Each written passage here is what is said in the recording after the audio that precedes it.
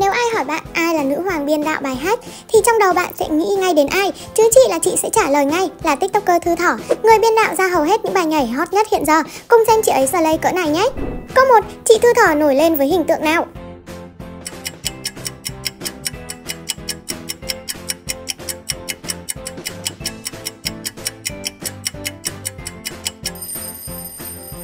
Thỏ và đôi giày lông nổi bật của cô ấy. Hồi mùa đông bà rất hay diện outfit có đôi giày lông, nên khi nhắc tới Thư Thỏ ai cũng nhớ đến đôi giày.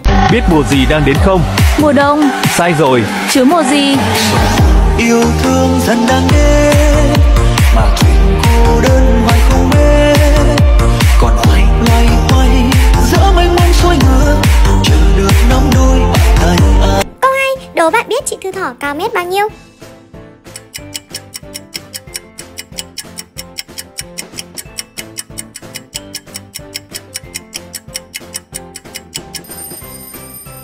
Nhìn trong nhiều video thì trông chị ấy khá là cao. Mà chiều cao ngoài đời thật có 1m48 thôi à. Nhưng nhảy vẫn rất là slay và bánh cuốn nhé.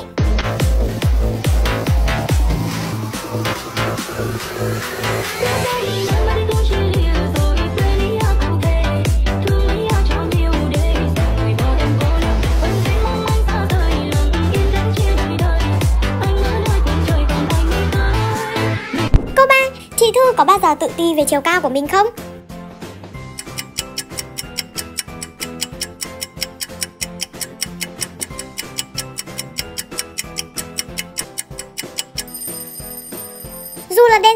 Chiều cao lại rất khiêm tốn. Mặc dù thế, nhưng chưa một lần chị ấy tự ti về chiều cao của mình. Hơn nữa còn đáp trả cực gắt với những thành phần chê chiều cao của mình đấy.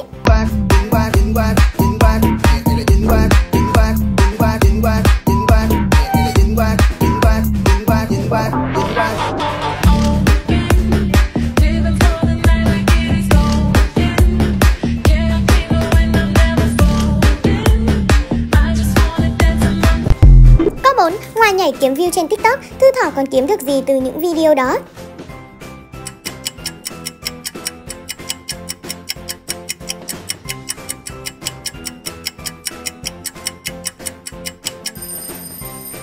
Chị Thư Thỏ giờ cũng nhận booking nhiều lắm rồi nè. Chị ấy quay video cho nhãn hàng bằng việc nhảy đấy. Một công đôi việc quá tiện luôn rồi mà.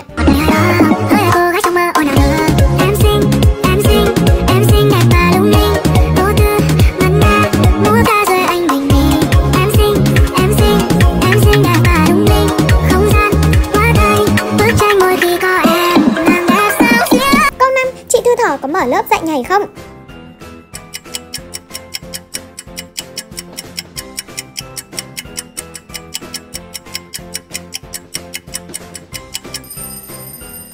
Dancer chuyên nghiệp như chị ấy thì không mở lớp thì hơi phí đấy. Thật vinh hạnh nếu được làm học sinh của cô Thư nha Tốt nghiệp kiểu gì cũng biết lắc không uốn người.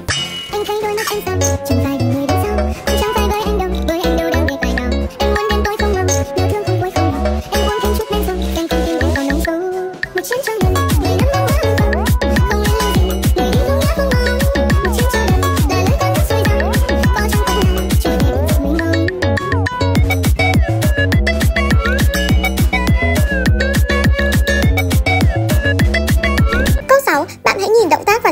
Cho bài nhảy này của chị Thư nhé.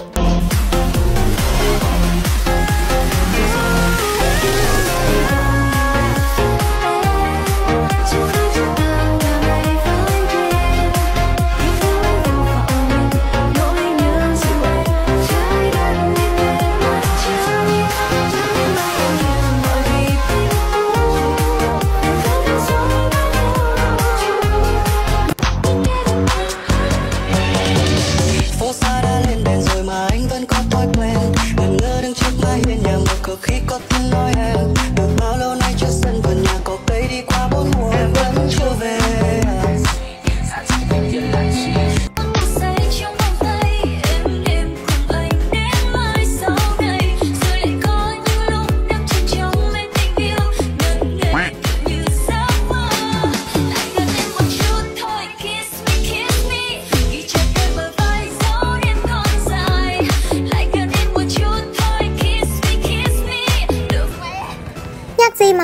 không biết là nhạc số 2 chứ còn gì nữa Chị ấy biên động tác chuẩn từng con beat luôn phố xa đã lên đèn rồi mà anh vẫn có thói quen ngẩn ngơ đứng trước mái hiên nhà một cực khi có tiếng nói em được bao lâu nay chưa sân vườn nhà có cây đi qua bốn mùa em vẫn chưa về Câu 7. Bạn thấy chị Thư hợp với màu tóc nào nhất?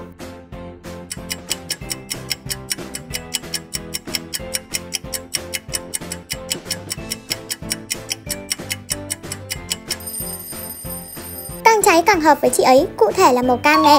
Bà cũng tự nhận mê màu cam nhất, giờ mà chị Thư nhuộm cả đầu màu cam, chắc chất nhất cái TikTok này.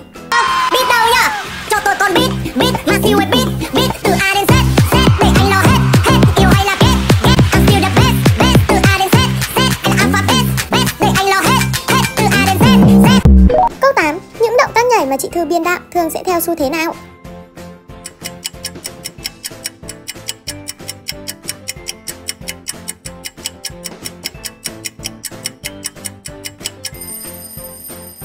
Dancer không phải ở chợ mơ nên những động tác chị ấy biên đạo cực kỳ dứt khoát và mạnh mẽ.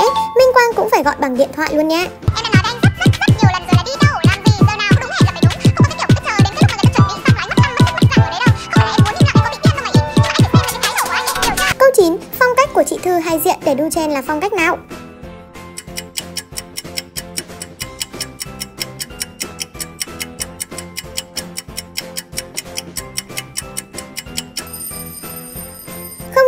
Tiktoker khác ăn mặc rất sexy và slay, mình chị Thư chọn style streetwear mà vẫn không kém phần lôi cuốn đâu nha. Mặc dù cũng hơi dìm chiều cao, nhưng khi lên video thì chị Thư vẫn 10 điểm nhé. Lòng đường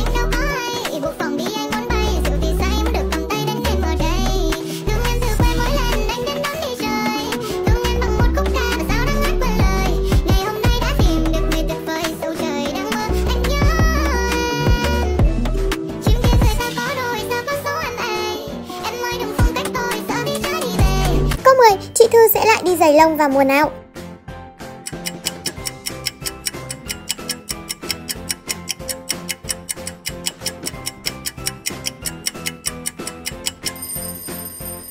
Fan vừa khen là không thấy đôi ủng lông nhìn có vẻ tình cảm hơn hẳn, Nhưng chị Thư đáp trả lại cực gắt là mùa đông là lại mất thiện cảm liền Vậy là sắp được gặp lại đôi giày lông của chị Thư Thỏ rồi đấy Tôi đi boy sẽ làm gì chỉ đi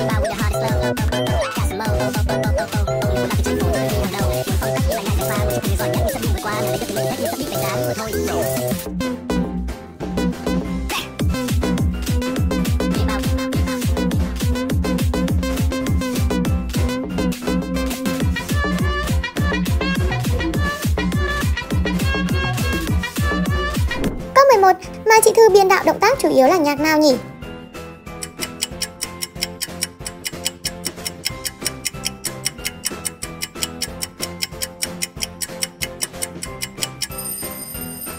Chị Thư là người Việt nên chủ yếu biên đạo các động tác của nhạc Việt nhé. Cuốn hút thì cứ phải gọi là thôi rồi luôn nhé. Đến giờ chị kính đoán là chưa ai xoán ngôi được bà Hoàng biên đạo này đâu đấy.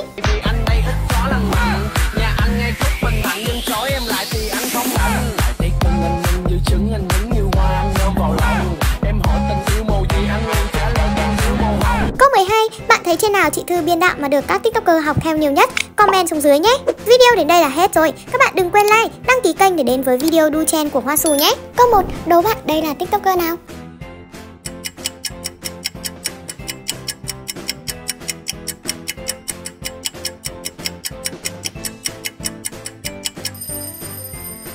TikTok không ai có bộ tóc xù chất như chị Hoa Xù. Sợ mọi người không biết đầu mình xù Nên bà phải để tên TikTok là Hoa Xù luôn đấy.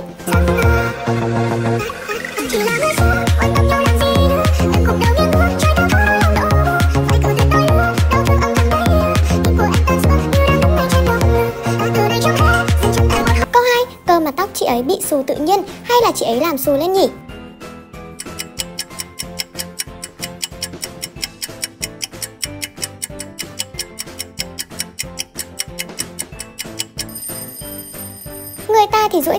Xong, đây chị ấy lại làm xù lên mà phải nhuộm đỏ mới chịu cơ.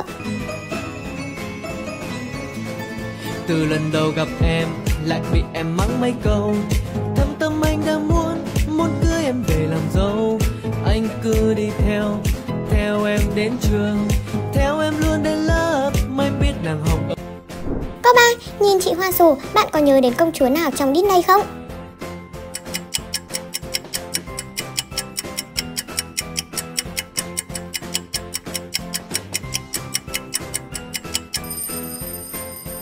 Thơ của các bạn chắc chắn biết đến công chúa tóc xù Merida, chị Hoa xù cosplay y hệt nhân vật đó. Cơ mà nhiều khi tôi tưởng công chúa tóc xù của Disney có thật ngoài đời luôn á.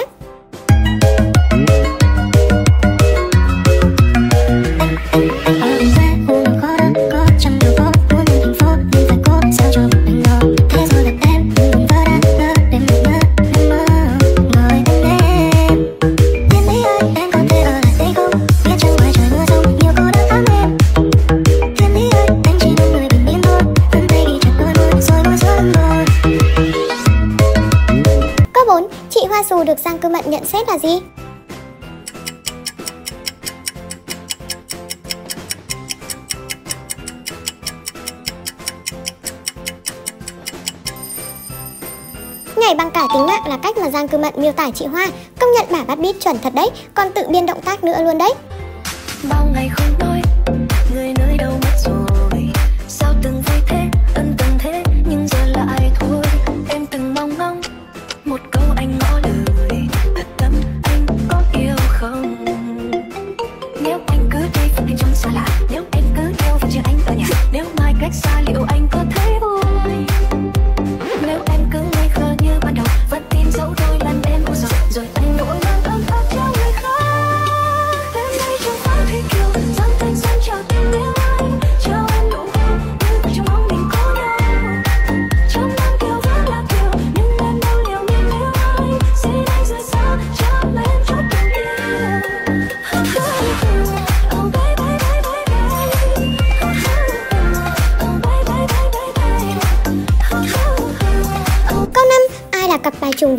nhảy đu chen?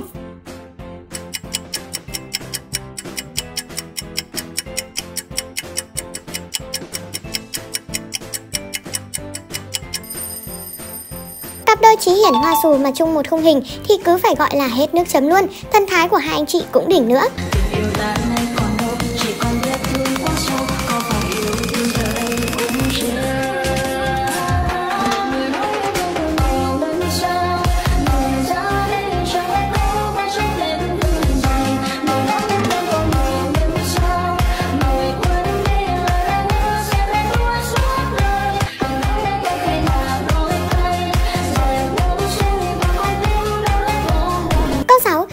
Từ đu top top. Vậy bạn có biết tên thật của chị Hoa sù là gì không?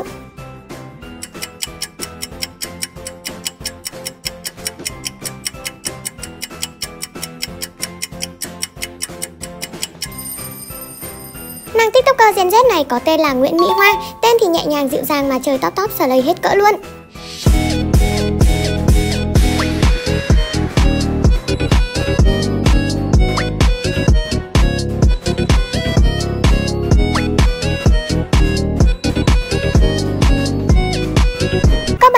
Ngoài hết lời khen ngợi trình độ nhảy của Hoa Sù, fan còn quan tâm đến thứ gì của chị ấy trên video nữa?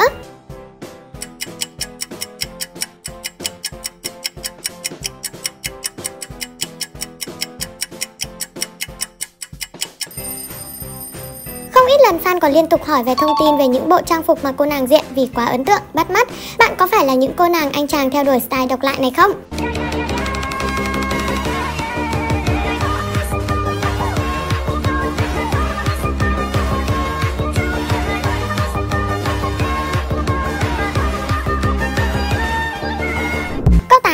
Hoa thường nhảy ở đâu?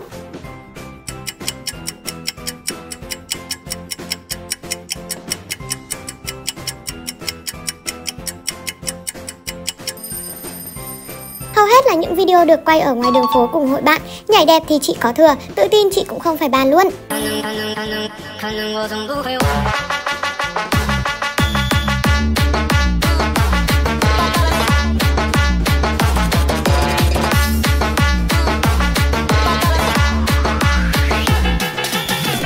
9. Bạn hãy chọn nhạc đúng cho trend này đi nào.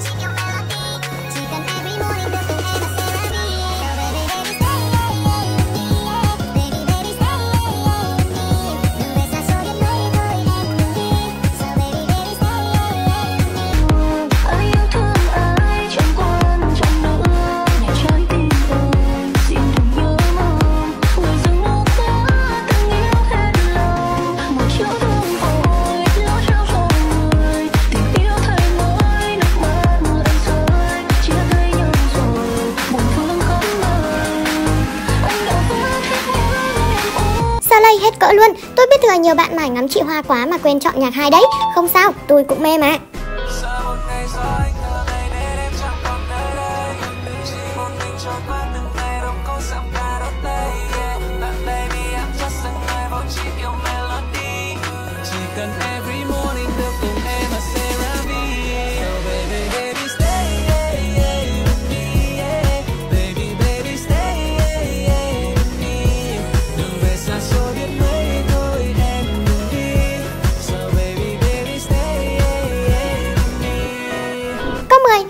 Dù có phải tín đồ của Chen biến hình không?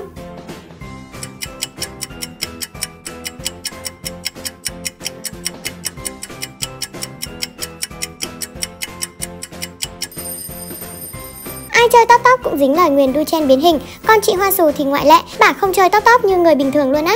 Chen tìm đến bà chứ bà không có đu chen.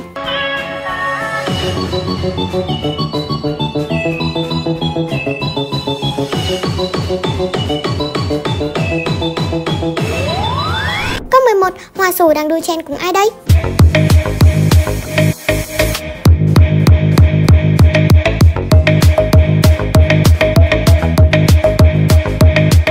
Chuẩn tiktoker Sơn Ca luôn Hai chị đu chen với nhau thì x2 sự slay Khai thật đi, bạn mê ai hơn?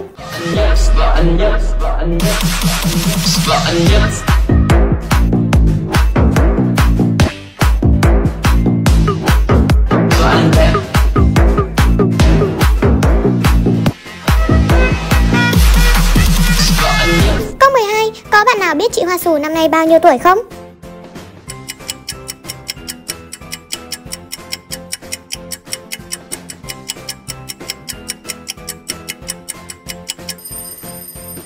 Giao diện thì trưởng thành vậy thôi, chứ hệ điều hành mới có 20 tuổi thôi à. Không biết đến lúc các bạn 20 tuổi có nổi tiếng như chị ấy không nhỉ?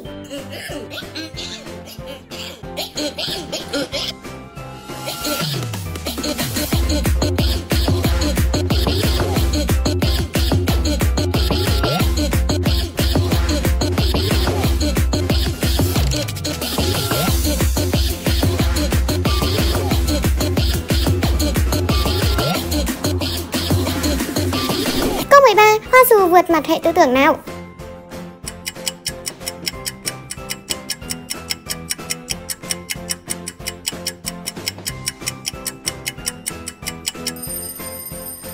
Giang Cư Mận có đánh giá rằng từ khi Hoa Sù xuất hiện, Xuân Ca chỉ còn là cái tên, quả thật là không sai mà.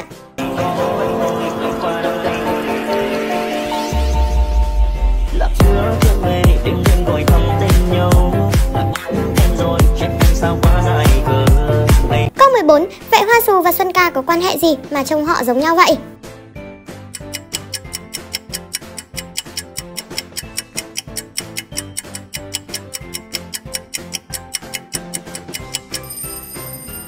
Nhìn có nét giống nhau, nhưng hai người họ chỉ là hai tiktoker chơi với nhau thôi, gọi là hội chị em trên bến dưới thuyền đấy.